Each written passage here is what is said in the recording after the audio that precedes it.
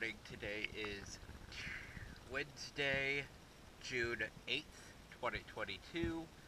I am here at Ortega River Marina, and this is Chug.